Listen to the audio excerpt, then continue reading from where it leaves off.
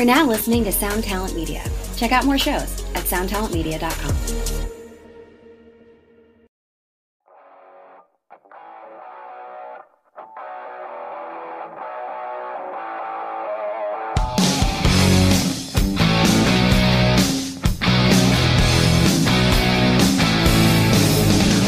Hair metal was long gone when the darkness exploded onto the airwaves. Armed with Queen inspired guitar solos and an unforgettable music video, they were destined for superstardom, and they achieved it in the UK. But in the States, they never had another hit after the iconic I Believe in a Thing Called Love.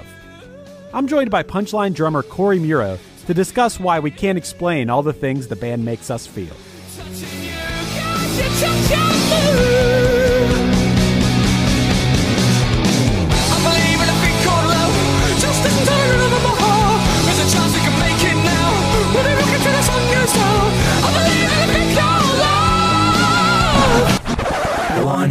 Is all you need to make the money guaranteed, and you can live off royalties forever. And it makes me wonder: is it just a wonder, or is it one hit thunder?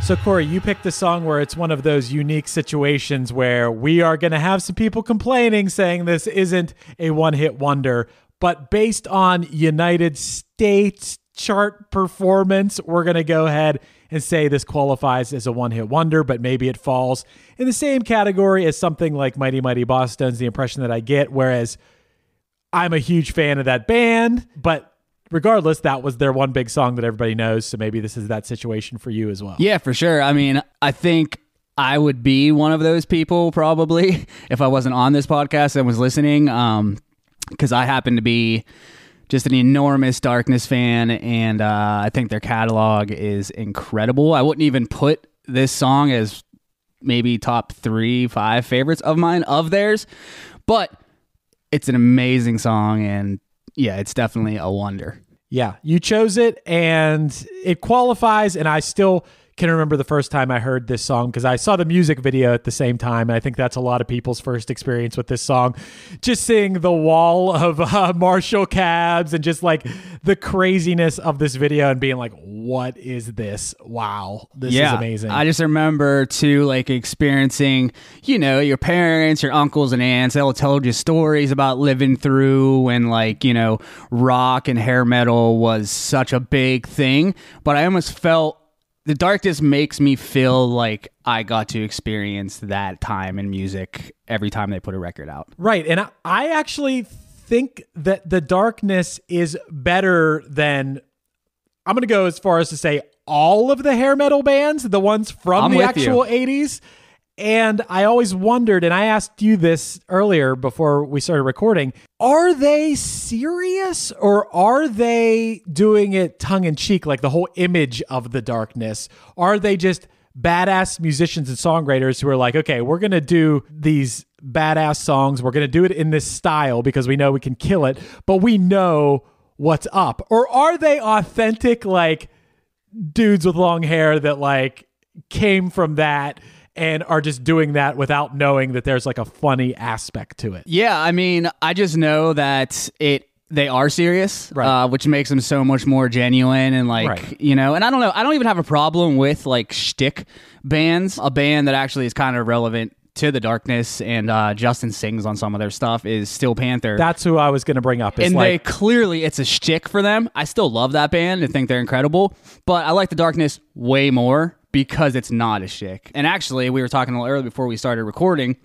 and the fact that you know when they first came on the scene in the UK, there was like a only only I think it's funny when you hear these stories of bands where they talk about like only a couple major labels were interested in our band. It's like, well, that would be nice, uh, you know. But uh, the problem they had was that all these labels at the time, uh, it was probably around like 2002, uh, 2003 ish. They did think that they were a joke and like weren't interested in that. And uh, I totally agree with you. And not only would I say that they're not a joke, I would go as far as saying they're the best band of any band like them from any era of music.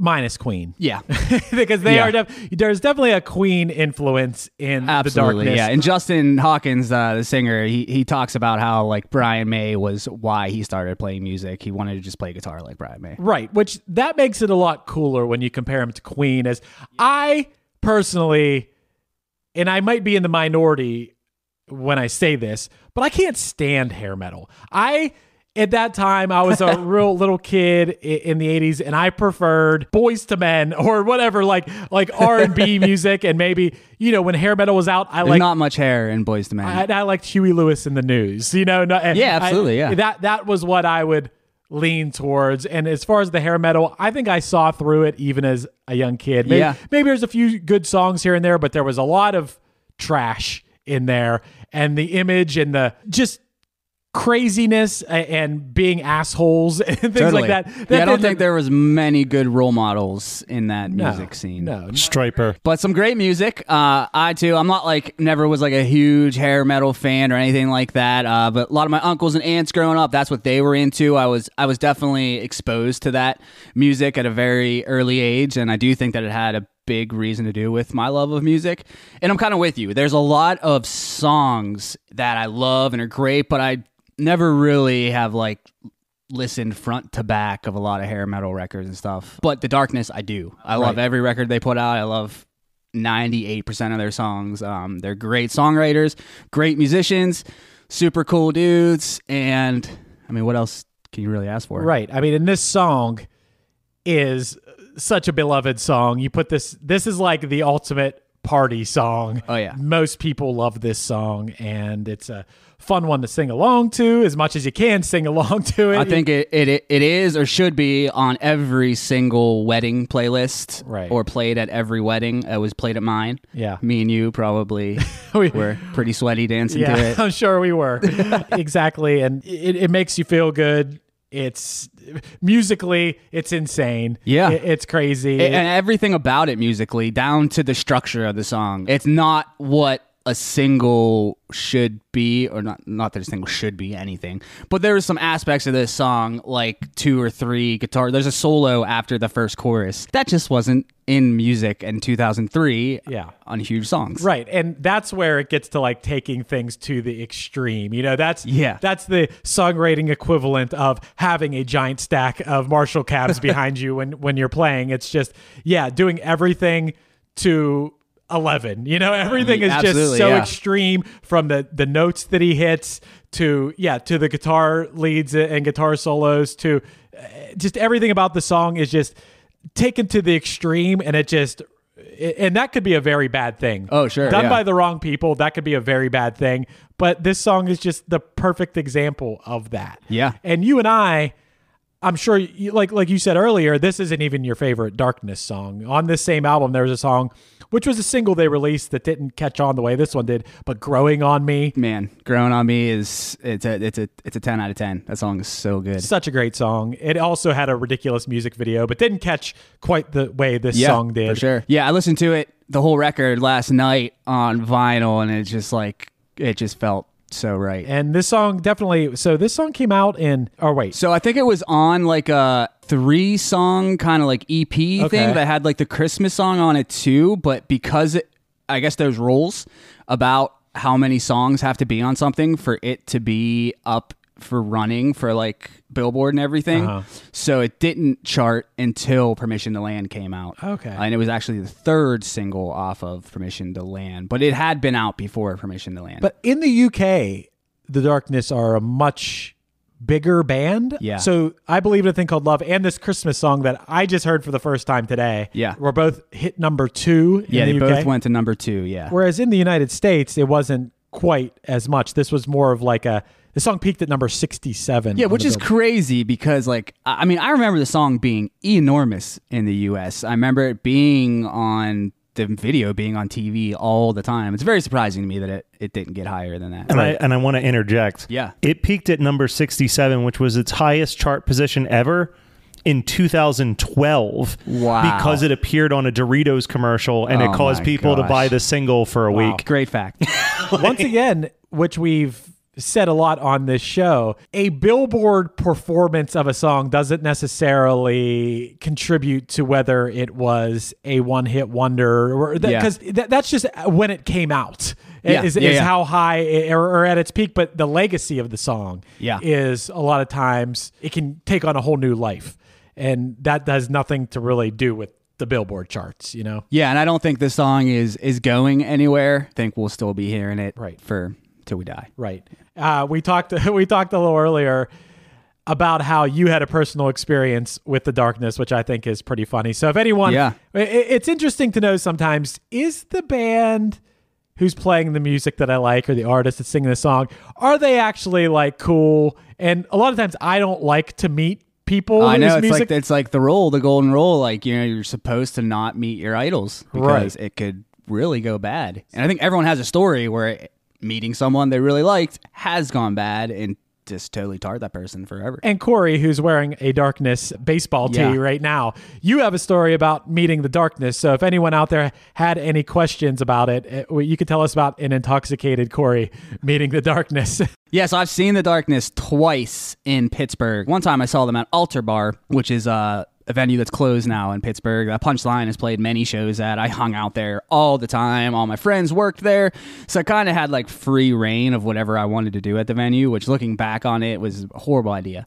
Uh, someone should have like set rules for me there. So yeah, they played Altar Bar, which is about a 600 I think it was about 600 cap room, which it probably should have been like 400. Uh, so 600 people in there. It, it was crazy packed. Drinking all night. And our buddies, band and the Werewolf, uh, they had opened the show. But because I had this free reign over the place, as soon as the darkness was done playing, I had this great idea in my you know intoxicated mind that I was just gonna go down into the green room and just sit there and wait for the darkness to come down and tell them how much in their backstage area. in their green room and say, let them know, profess my love to them. You know, they came in. They were very confused about this uh, drunk kid hanging out in their their dressing room, and I just told them, you know, I'm a huge fan. Thank you guys for like doing this crazy band that I love so much, and they were super nice.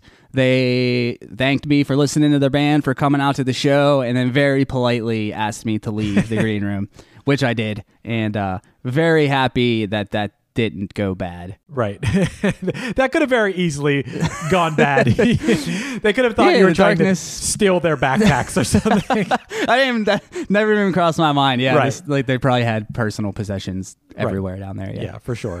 and I don't, I don't even know how we would respond to that. and we are nowhere near near as popular as Darkness. So. yeah, I wouldn't have been as nice as the darkness was probably. Right. Yeah. But you know, the legacy definitely lives on of this band. As far as the front man, Justin, I remember when we toured with the Gin Blossoms, Robin talking about how Justin is his favorite. He's the best man. Yeah. seeing them live. Uh, it's another thing I'll say about them is you know bands you love, you want them to be cool people, and you also want them to be good live. And the Darkness, I uh, have no problem going on record saying the Darkness is the best live band I have ever seen.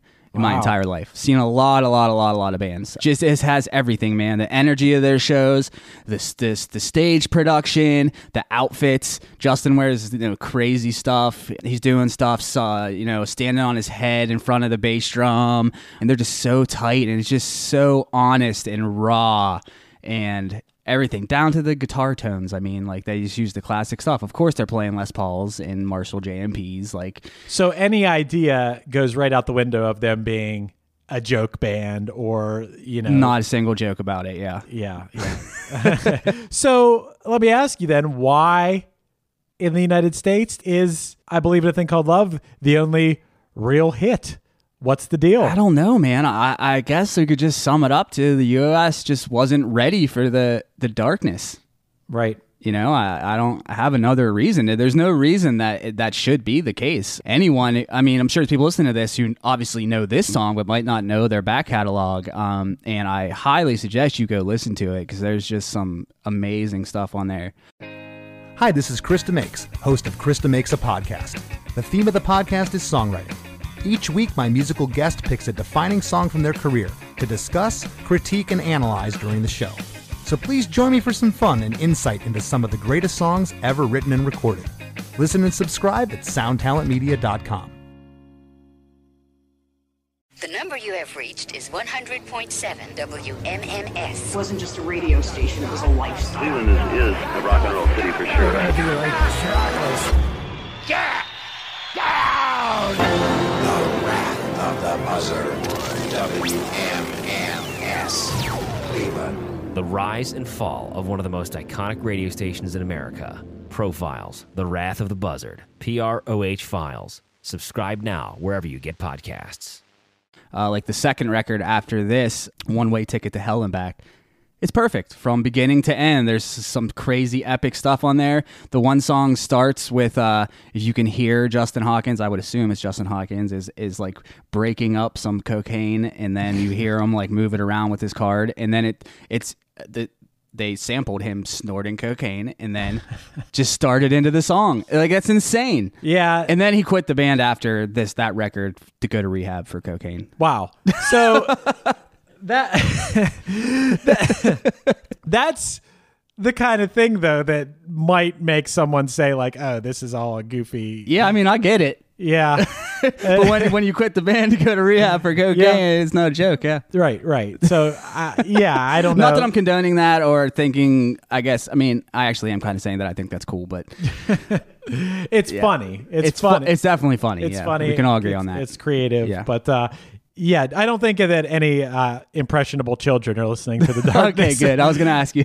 Oh no, I don't How think many they're- children listen to your podcast? Uh, first of all, no children are listening to this podcast. Second of all, no children are really listening to the darkness. I don't think. Which is the problem? It's the big problem. Yeah, they they yeah they may need to. Maybe that's the problem. Maybe they're not appealing to kids. I, I don't know what what the problem is there. I mean, maybe you did just solve it. Maybe the the crowd that would have been very accepting of the darkness just were more worried about going to work than really b- getting behind the darkness, and the Hmm. kids were kind of like, "This is a joke," and they just didn't know that it wasn't. Wow. I don't know. Yeah, I don't I don't know. I but I guess the popularity of this song has allowed them to have a long career Yeah, regardless. That that they're going to they're going to play shows and the shows are going to be packed.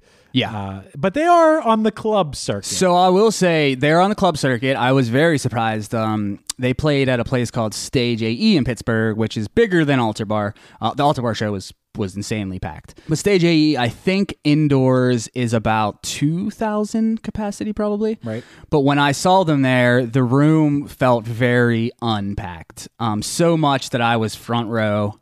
Also very drunk. Uh, Right.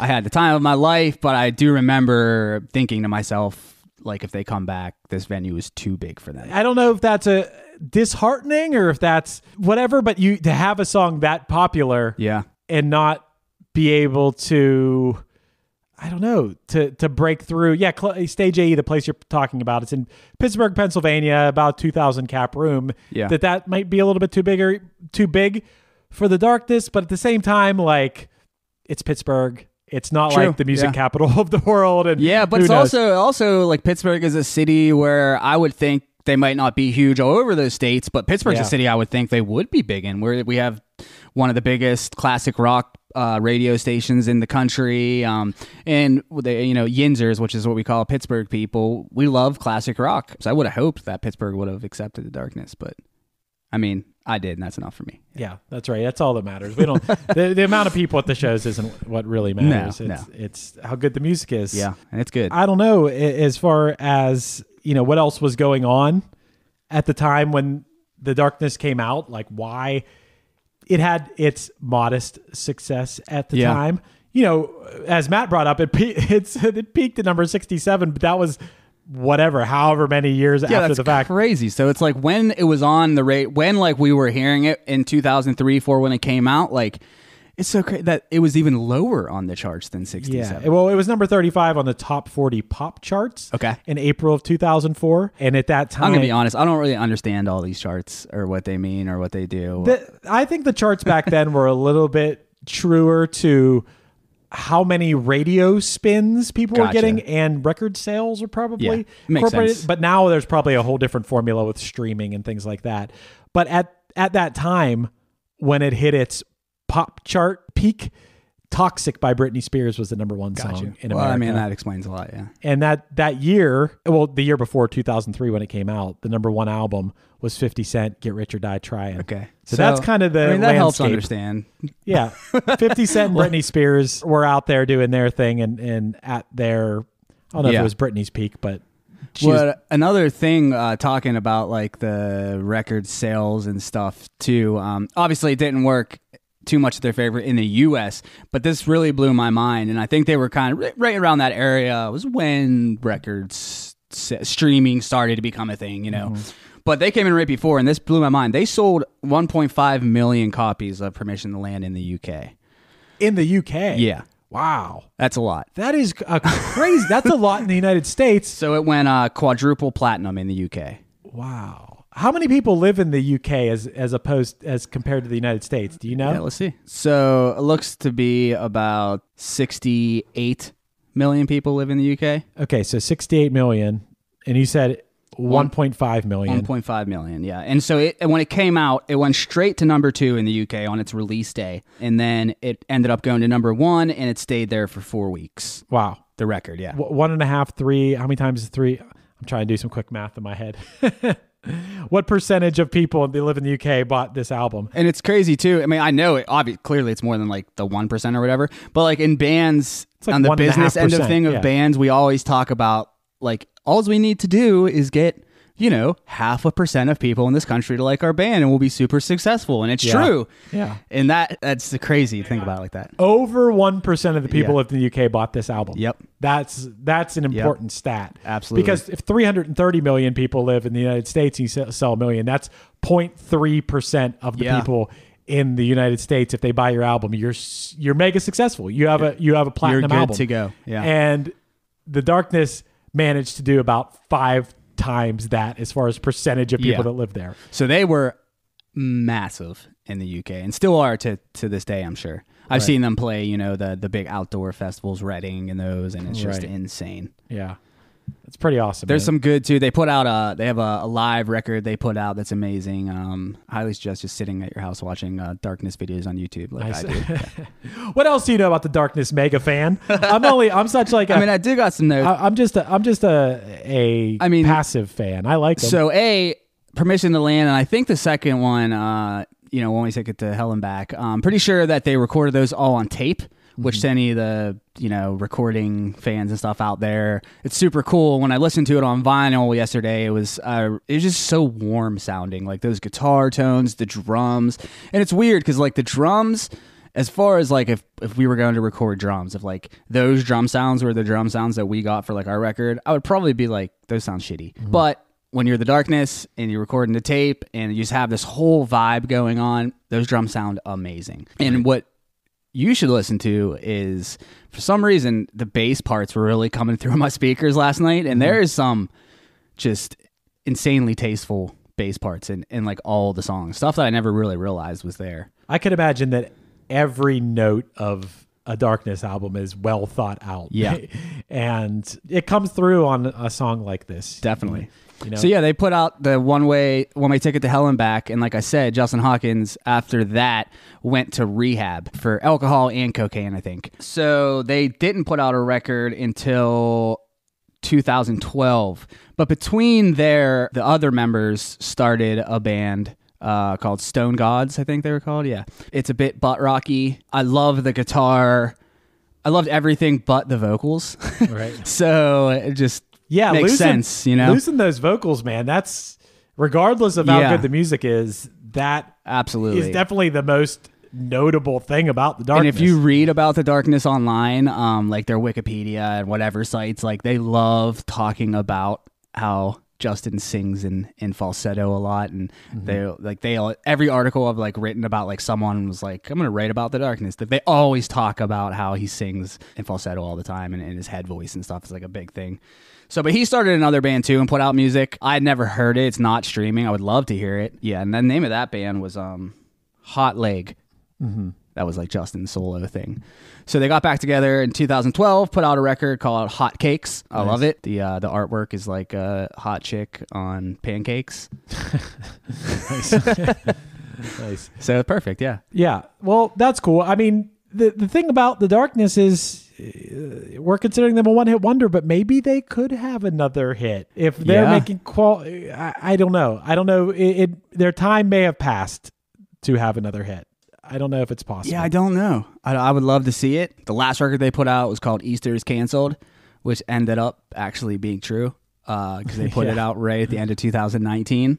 Wow. So maybe they had something to do with what's going on. I don't know. I guess I guess you brought up one memory as far as like all this stuff. Yeah, this this is all cool, but as far as your your you have some personal good memories what between your wedding reception and Mm-hmm. meeting the darkness and things like that. Do you remember the first time you heard this song? I feel like the first time I heard this song was on TV. I don't know. I guess back then would would have MTV been like spinning videos still? oh yeah, then? I saw this on MTV. Okay, then yeah, I think it was just actually probably at my aunt's house, which I hung out at every day. Uh, I didn't have cable TV at my house, so I have to go over there to watch everything. And I guess I kind of do. I definitely can envision myself watching it on the video on TV, and originally thinking what what everyone thinks when they see it for the first time, probably that a this is ridiculous, b it's, it's is just is a stick, and c I love it. It's a great song. Yeah, You know, yeah, yeah. I don't understand how anyone could not like this song. Yeah, I don't know. I the only argument I could see for it is someone saying like, "Oh, this is this is cheesy because it's it's fake. It's it's not authentic or something." For but sure. the songwriting and the performance Yeah. on the song is just too good to the point where even if it was some sort of jokey type thing, like, damn, you did a perfect job and no one will ever top the job you did. And you've been very committed to that joke for years Right. and years and years. right. So if it's a joke, it's a really good joke. And it could, I mean, honestly, the only thing jokey about it probably is the fact that it happened so far after that Yeah. was the thing. Whereas a lot of it, when it was happening, is way more of a joke to me anyway. way sure, more of a joke based on the image of the bands and the the, the music videos. And you know, like too, like if you really think about it, like what what was like the whole message of like that hair metal thing? It was like really like rebel against what's the norm, like rebel, you know.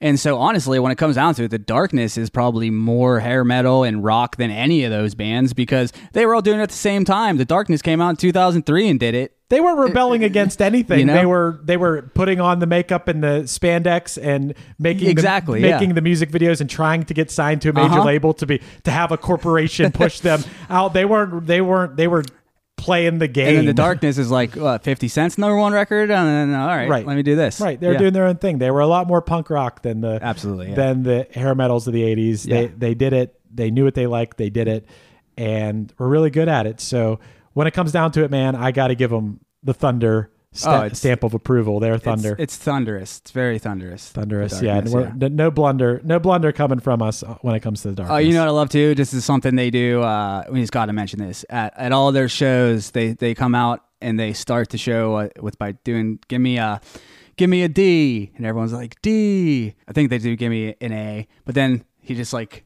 puts it all together at the end and goes give me an Arkness, and everyone goes Arkness, and then they just f- rock. It's Nice. awesome, but it's like that's like their thing they do. Nice. and it gets it gets you pumped. That's great, Yeah. man. Cool. Well, thanks for coming We on. should man. do give me a P, give me an Unschlein. Yep. Give me an O. Give me a wonder. I, don't, I don't know. Thunder. I don't know. That's a bad ending. But Cool. yeah. Well, thanks for having me on. Uh, you know, originally uh, we were gonna do a different song, and then someone else did it. But Yeah. honestly, I I'm happy that that happened because You got the rug pulled under from uh, under you for It's- uh, Pass the Dutchie. yeah, I, I did want to do Pass the Dutchie, but looking back on it, I like that song, and then the other one song we sang in the Sprinter together. Uh, I forget the name of it, but another good song from Musical. But if I really would have thought about it, this is what the song I should have nice. done. Hell yeah, man. So the universe figured that out. yeah, yeah. man. Hell yeah. You are an icicle. You are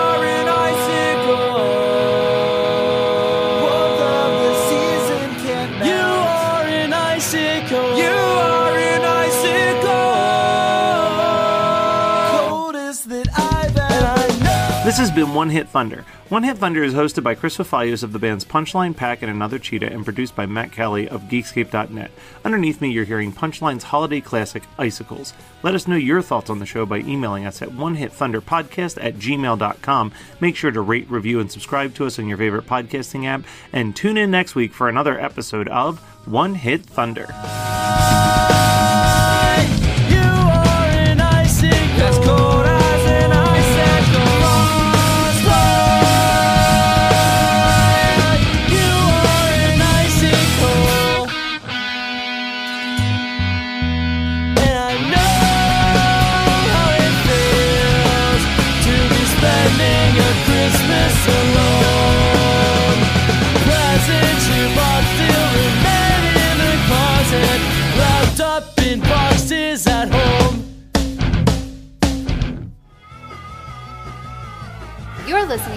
Geekscape Network. Hi, podcast listeners. I'm Carol Costello, a former CNN anchor and national correspondent. This January, I'm launching a podcast about one of the first cases I ever covered as a journalist. It's one that stuck with me all of these years, the one that buried itself under my skin and stayed put. It's a true crime series about an amazing woman named Phyllis Cottle who defied torture and death and brought a fierce rage to the quest to find her attacker. Carol Costello presents Blind Rage. It's a production of Evergreen Podcasts and signature title of the Killer Podcast Network. Listen and subscribe wherever you get your podcasts. Discover more great true crime and paranormal programming at killerpodcast.com. The number you have reached is 100.7 WMMS. It wasn't just a radio station, it was a lifestyle. Cleveland is, is a rock and roll city for sure. Yeah! Down! The Wrath of the Buzzard. WMMS. Cleveland. The rise and fall of one of the most iconic radio stations in America. Profiles, The Wrath of the Buzzard, PROH Files. Subscribe now wherever you get podcasts.